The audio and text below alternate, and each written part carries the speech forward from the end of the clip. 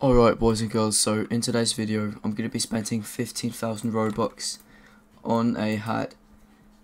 So this hat is limited and it's a Dominus hat and I'm, I'm actually going to buy it and it's so dumb. So yeah, three, two, one, boom! Nah, I didn't just do that. Yeah, that's it. I'm dumb and I just spent 15k Robux. See you in the next video. Peace out guys.